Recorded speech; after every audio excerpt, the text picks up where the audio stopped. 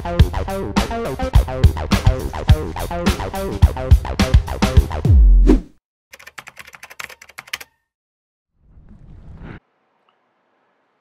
I'm bringing out Kate and Dixie to fish inside Tampa Bay. We're going to try to catch some snook and redfish here. And the trip starts out with us catching bait. We've been down in Tampa Bay for about three weeks now, and it has been a pretty big learning curve to get to this point. But uh, anytime you're fishing in a new area, it starts with finding the bait, and you can see we do that right here um, this is my first time ever fishing the west coast of Florida. All my Florida fishing has always been in the Keys, and this is a completely different fishery. Um, it's a very shallow bay, and this live bait is going to be really important for us today. So I'm going to sign off, let you guys watch us catch bait, and then I'll jump back in in a minute. Let's see. So we're just going to kind of look around with the sonar. Did you see it? Like how big it was on the sonar? It was like a, like you yeah. see it here. So now we're start, okay, so this is it right here.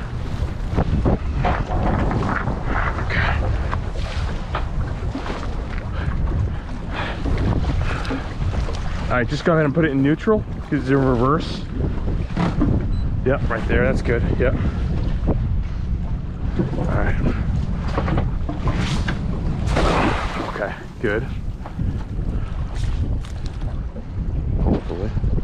So see, I might have missed it. Darn it, see how it's like off the screen now? You gotta get it when you're right on it. And we're just gonna try to stay in line with the net so it doesn't close. But it's so, oh, see, we might get it now. It's 30 feet down now, 35 feet deep here. So like, you have to let it sink all the way down and that's where you got to stay on top of it we got him i could feel him vibrating the net they were gonna close that's why we got this heavy net i mean it's definitely a lot harder to throw but we got a lot of fish oh my god look at this. Yeah we got a whole bunch. Yeah it's probably enough. Dixie is this amazing? Is this blowing your puppy mind?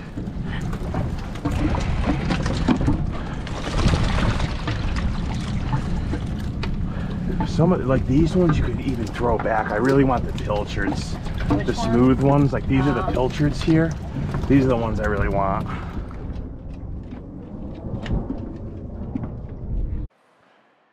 After catching that bait we are ready to start fishing and you're going to see it does not take long for us to hook and do a snook.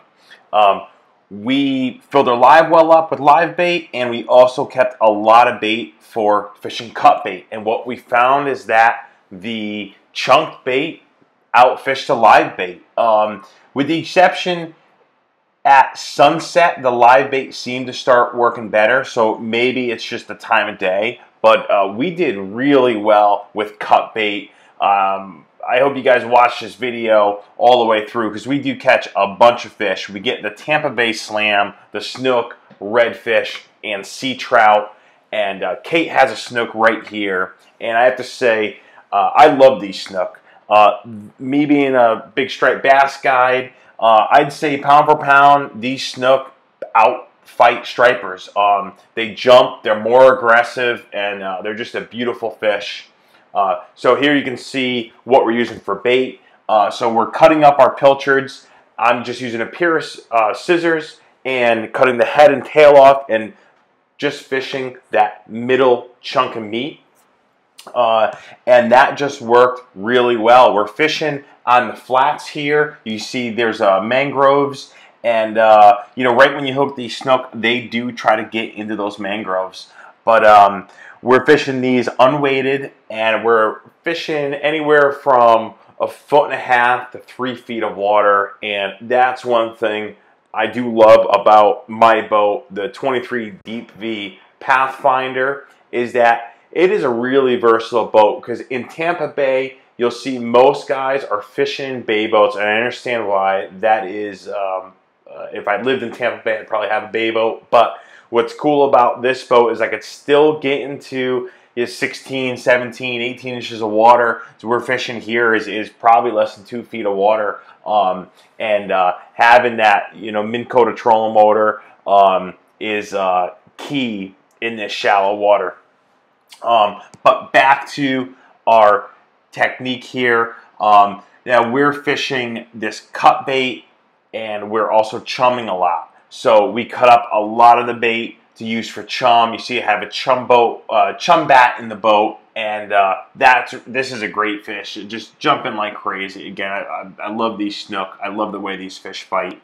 Um, but uh, we're chumming uh, quite a bit to draw in fish, and it just worked really well. Now, um, as I said earlier, we've been down here for about three weeks. Um, this is uh, a month-long trip to Tampa Bay and uh, it was a big learning curve. Um, lures were really tough to, to get fish to react to it. I also think part of the reason we came down in January and it was very cold, the water temperature was down to 60 degrees, and these fish get really lethargic. Now we've had a few days of warm weather. It's been sunny out, so our our water temp 70 degrees, and I'm sure that has something to do with these fish being more aggressive um, but uh, the cut bait, uh, I'm not sure if it's because the winter time, but the cut bait seems to work really well. Now, um, I'm using a 30 pound fluorocarbon leader and a 2-0 owner octopus hook. Um, I used two different hooks. I used the octopus hook, which is a J hook. Uh, that seemed to work really well for the snook. And the reds, they seem to really swallow the bait. So uh, I did experiment with the 2-0 owner circle hook. I found that that worked really well with the reds, but the snook, I didn't have as good of a, a hookup ratio. But, uh, you know, I'm not really sure. Uh, this is my first time fishing um, in this area, so I'd have to experiment more with these hooks. Now, uh, the tackle is pretty light tackle, and uh, I just think the best all-around rod for, for this uh, kind of flats fishing is the uh, G Loomis E6X rod. It's a great rod for this, uh, and the model I'm using is the 843SF.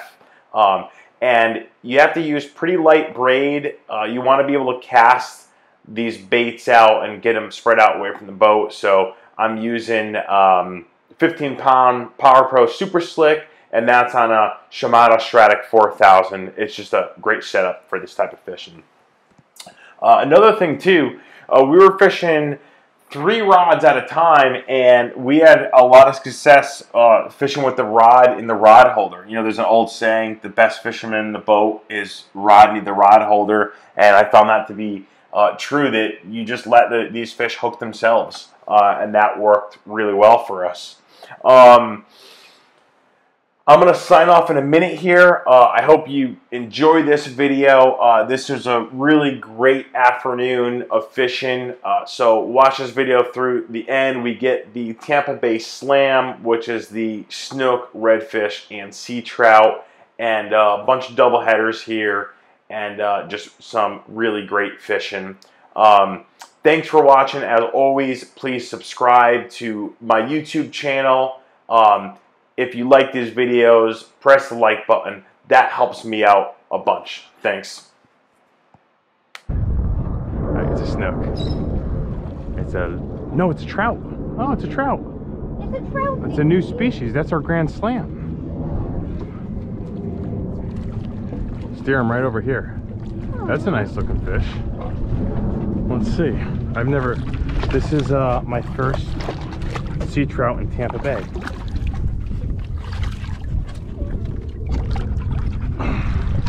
Isn't that cool? Yeah.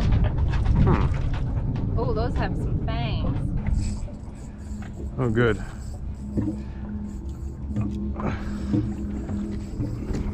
Oh, Oh we got God, two. Yep.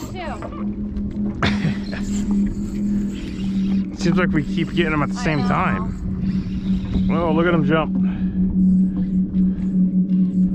Here, you want to come under me?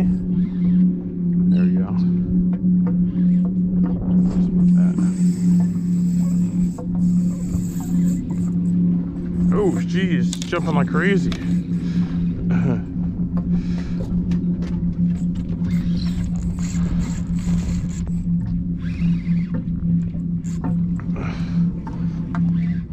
See how your, your the meat slid up the line too.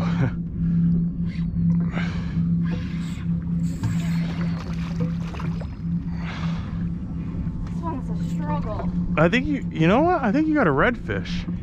Yeah, you got a red. That's a red.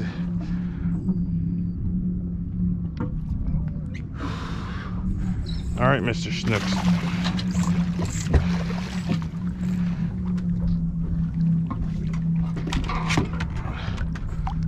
All right, hang hang tight with yours, Chris. I gotta get mine off the hook.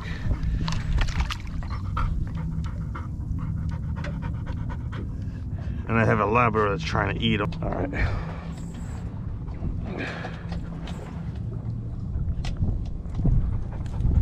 Okay.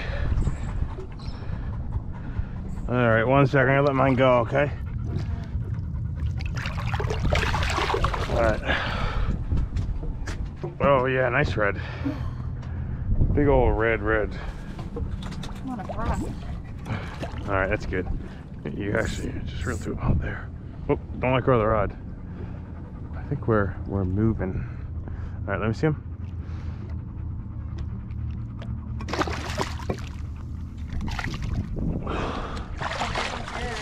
Uh, he wasn't as big as the other one. This is a nice size red though. I think it's bigger than our first one. Look at that. Yeah. You want to see what? The, ah, damn, Dixie. Look at inside his mouth real quick. Let's check these out. See what the molars? See the molars down there? That's Oh, how yeah, they crush wow. it. See that? Wow. Isn't that cool? Dixie, stop it. All right, you want to take a quick picture?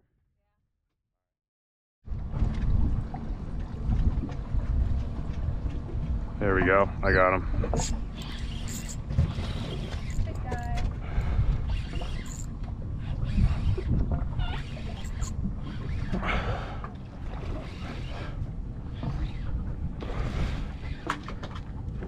The snook. The snook jump a lot. Oh, Even if it's little Yeah, we can practice. yeah, we'll do a practice shot.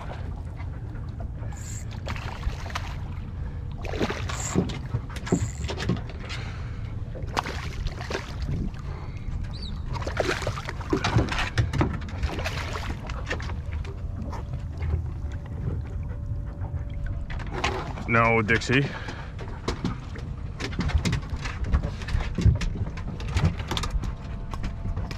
I'll just get this. Look out. No.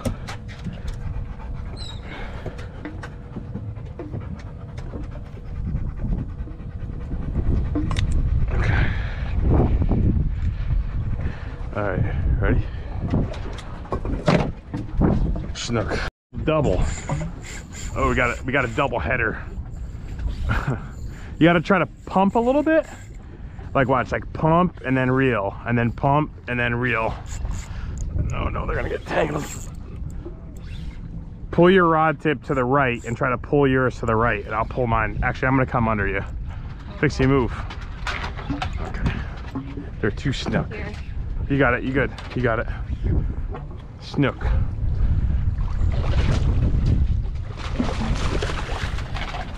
It's like snook. Oh shit. Okay, got him. Yeah. You want to hold yours there for a second? Actually, maybe we'll take a. You could hold mine and take a picture with mine because mine's bigger. Okay, let's let mine. Yeah, that's what we're gonna do. They're strong, aren't they? Like for the size. All right, let me see yours. Okay, and then just stick your rod right in that rod holder there. Oh, oh, hold on, hold on, not yet. We gotta get the fish. Okay, there he goes. Okay, okay, good. Oh, see, that dead snook just got ate by an osprey. Look, the os, the os, we just had. him. All right, ready? All right, you're gonna grab this fish. What? Think you could ho- hold them like you held the redfish? Yeah. Like that? Okay, got him? No. And then go right over the side of the boat. Oh, Whoop. Oh. hold hold him like you're gonna let them go in the water. Okay. Oh, so do I want to be on the other side? Yeah, no, right here, right here. Oh, God. Well, oh, okay, never mind. You're not doing too good with pictures. Well, Maybe it's better if if you take the picture of the next one Yeah. and I'll hold the fish and we'll do it right over the side of the water. And what we're gonna try to do is like, so we'll do it right here there's no shadow.